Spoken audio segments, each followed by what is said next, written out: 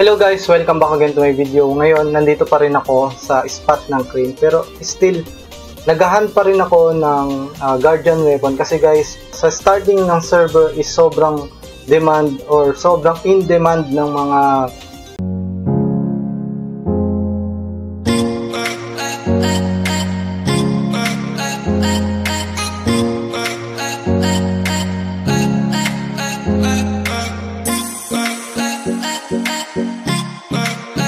guardian weapon. Kaya nagpa-farm ako, at least uh, pwede siyang isell sa mga player.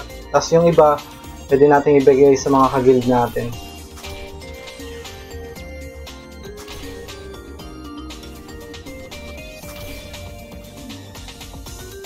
Para naman kahit pa paano may penya. Ayun guys, kita nyo, 6M pa lang penya ko. Ito naman. Tapos yun, sell natin yung mga nalulot natin.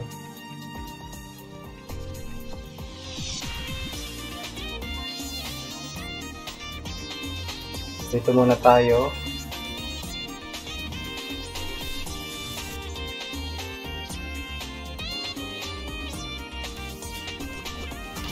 Next natin guys, uh, makikita nyo sa next content, itatang ko yung mga Darkon boss, mga giant dito.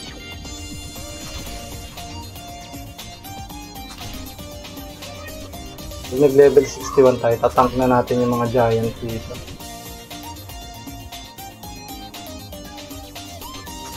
Oh, ano ba? Ay, nako. Wala pa rin ako nakukuha, guys. Dami na malas tayo sa pag-farm ng Guardian Weapon. Makakuha lang ako ng Guardian Bow, saka Guardian Axe ulit na yun.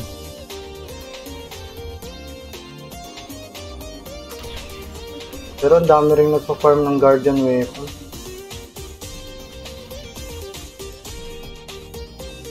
Tanker tayo eh, kaya ganyan.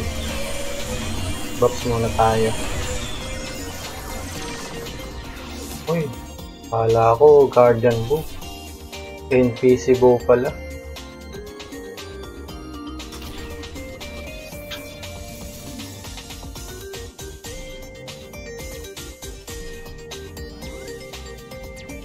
Wala nang mamag ba?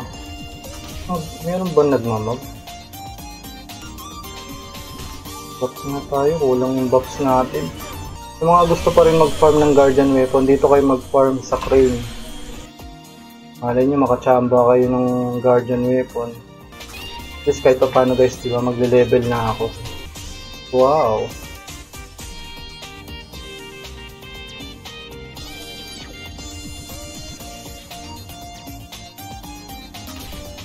Huwag natin yan.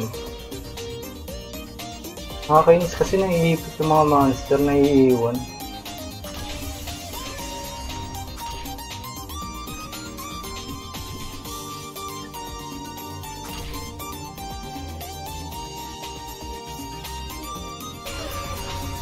Uy, hindi ka na tayo doon.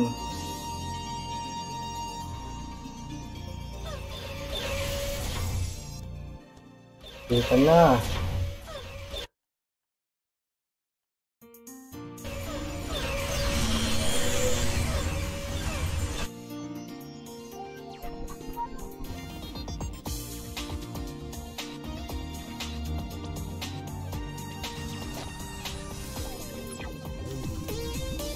Wala pa rin nakuha ang Guardian Weapon.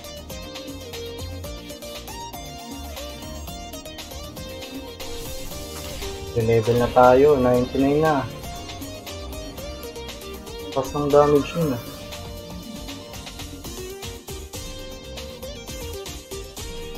Ang taas ng damage. Mag muna natin, kill natin yung giant guys.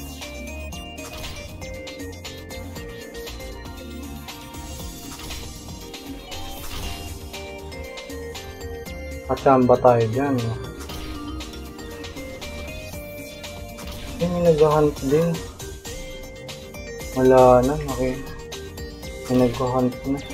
Sayang, naunahan tayo. Ayan.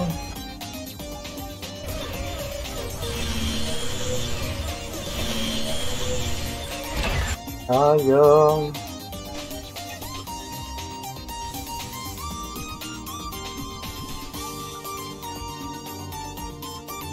Ng damage mo.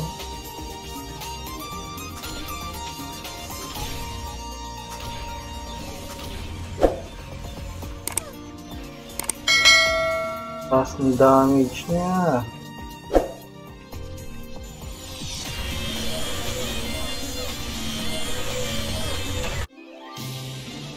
Oh, namatay.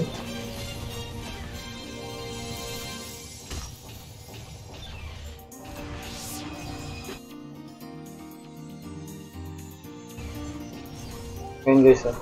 Kaya kong tangkihin yun eh.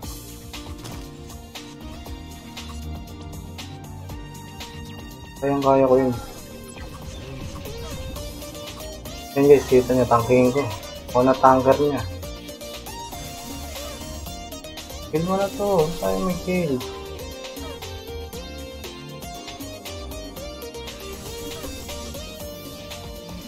Tayo may kill.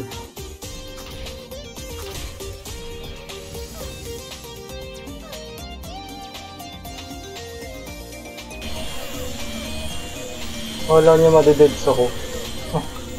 Nasa ka boy? Wala mo madededs ako. Tukmul ka. Nasa ka? Ilipat pa talaga niya sa akin yung giant. Nasa ka boy? Wala mo madededs ako. Unggoy. Unggoy ka, unggoy. Nilipat mo pa eh. Gawain ko din dati yan. Malupit yung mga ganyang player eh. Kala niya mapagtitripan niya ako. Gawain ko din dati yan sa Fly PH. Nangagaw kaya kami ng boss. Mga giant inagaw namin. Siyempre, PK na pagkatapos niyan. Mga player talagang ganyan.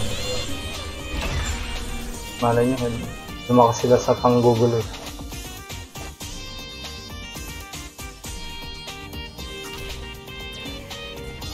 Giant train pa lang siguro yung nakikill niya. Kaya siguro ganun eh.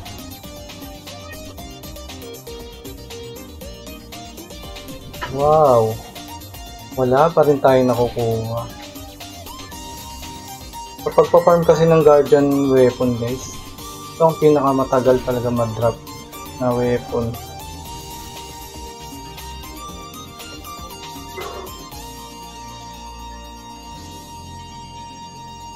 Nakita niyo naman sa next content natin, i-kill natin yung mga giant dito. Tatangko.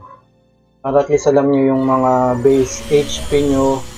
Meron kayong mapag uh, checkan kung ano talaga yung HP dito sa pagtatank dito sa Darkon 1. Kasi lalo na dito sa Mushpang, kung bagong server sa Flight US, ang dami nagpo-farm talaga ng Guardian Weapon. Kikita nyo dyan sa guild namin guys, so, puro newbie talaga. And wala talagang nagpapa-level na high level. Marami ng master, kasi ilan na lang yung hero. Kaya, sila kasi nag-excited, so ewan ko po, sobrang excited ng mga foreign magpa-level. Kasi nila yung iPhone 12 Pro Max ba yun? Panahon namin, 3310. Tapos, naka, pag naka-express music ka, RK ka nun. Ganyan talaga siguro.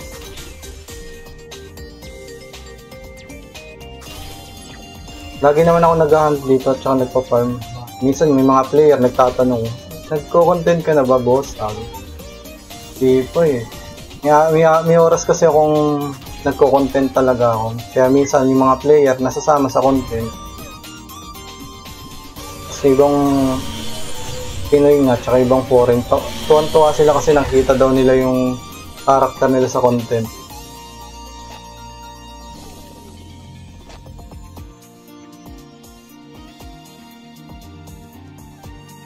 Ngayon guys, nag enjoy ako habang nagpa-farm ng mga ganito. Kaya sa mga newbie dyan, gawin nyo, mag-farm muna kayo ng level 45 parts, then sunod yung guardian weapon. Ngayon ko na-realize guys, ang sarap pala ulit maging newbie. Kasi, ibang iba yung character ko sa ABOT server, yung supply PH. Mostly guys, ngayon lang ako ulit ako nagbabad ng ganito sa pagpa-farm. Hindi, kita nyo guys, oh. Itong ano, side keeper, oh. Bomb build. Nakakatuwa guys na makakita ko ulit ng mga ganitong classic player. Side bomb lang, malakas na yung side keeper. Kapag nag-farm kayo, tuloy-tuloy nyo lang yan. Habang start pa lang, fresh pa yung server, mag-farm kayo na mag-farm. Minsan nga natatawa ako, ang daming nagpa-level ng high level ngayon, ngayon yung iba walang ginagawa. Sabi ko nga dun sa past content ko, nasa newbie new player ang mga po pwedeng gawin dito sa life. Kasi kung i-reach nyo yung high level or max level, ano na yung gagawin nyo? Lalo na pag wala pa kayong item. Hindi ka tulad ng sa newbie. Hindi mag-farm ka sa event, mag-farm ka ng ganito. Level 45 parts, oh. Sobrang hinahanap ngayon ng level 45 parts, especially cruiser at saka hyper. Kasi ngayon guys, ang dami kong nakitang bow jester na nagpa-farm. Masipag ka lang mag-hunt, mag-farm, isipin niya. And guys, pala nakakuha na ako Guardian Axe, oh. O, diba? Ulit tayo, ayan. Kita nyo naman. Ah, ayun guys, sana natuwa kayo sa video ko at syempre, huwag niyong kakalimutan mag-like, share, and subscribe. Ah, see you on my next content and thanks for watching.